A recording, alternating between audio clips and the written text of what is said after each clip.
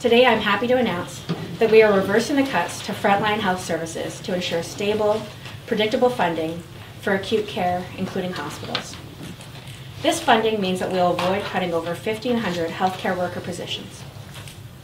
Alberta's doctors will be able to see more patients, and Alberta Health Services will be able to honor negotiated contracts. In May, I was very proud to stand with the Premier when she announced the restoration of grant funding and the funding for enrollment here in the province. With this interim supply bill now, we are taking an important step to demonstrating our commitment to parents, to students, to school boards, and to teachers across the province. This interim supply bill ensures that 12,000 new students starting school in Alberta in the fall will have the tools they need to get the best education possible.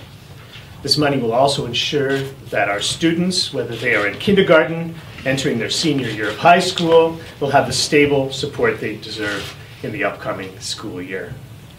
The funding will recover all regular operations, including funding for school capital projects to maintain the teachers' agreement and the commitment made in May to reverse grant cuts and fully fund enrollment.